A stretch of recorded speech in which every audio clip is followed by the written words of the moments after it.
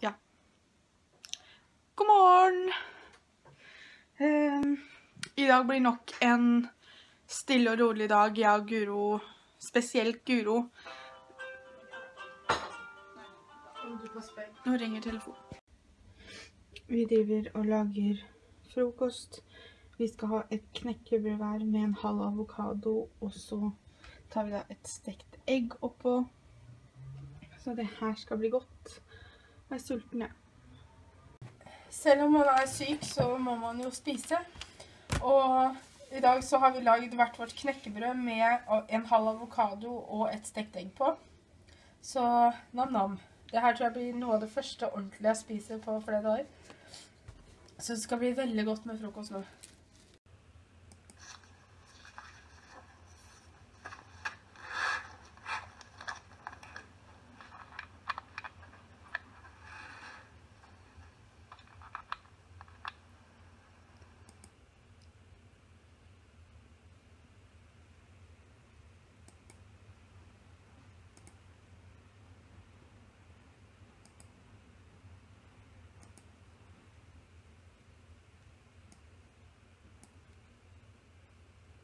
So let's just get started.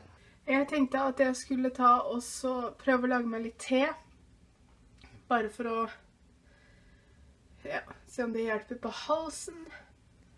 Eh, jeg prøver nå å velge, velge meg whoop. Skal vi se. Det skulle ikke være lett, nei. Eh, strawberry mango, ja takk. Så da skal jeg ha twinning, Twinnings strawberry mango. Og Pia skulle prøve Hæ? den her. Den kjøpte vi Hvor har du kjøpt den, Pia? Holdbart.no.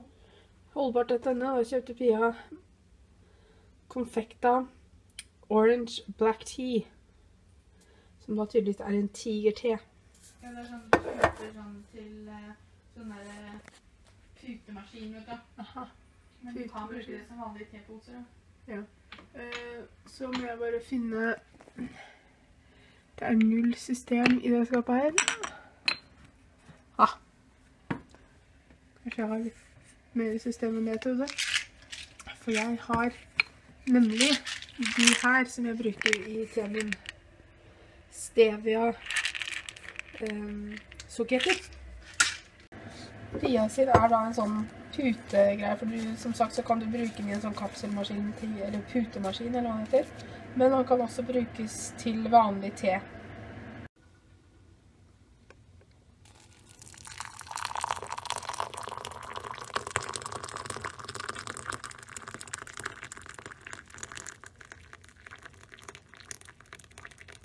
Til lunsj i dag så har vi bare lagd litt hjemmelaga guacamole, og så skal vi ha litt sånne nacho-chips til.